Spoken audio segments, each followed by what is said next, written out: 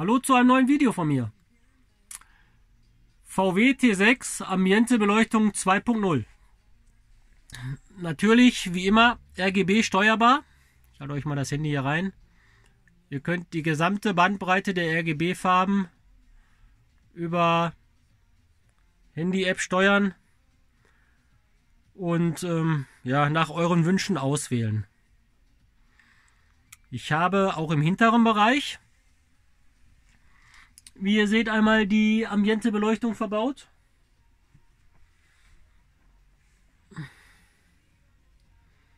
Einmal im Einstiegsbereich. Und einmal auf der anderen Seite unter der Verkleidung.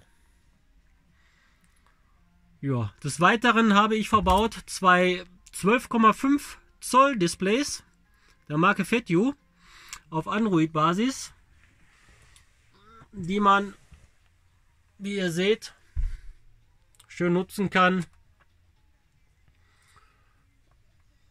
Als Anschluss für eine Playstation, für eine Nintendo Switch. Ihr habt die Möglichkeit der USB-Anbindung.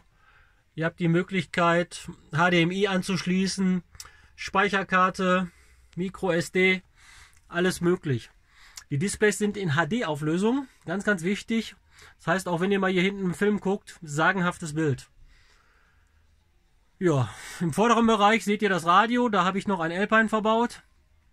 Ein ähm, ILX F903 D T6, ganz wichtig.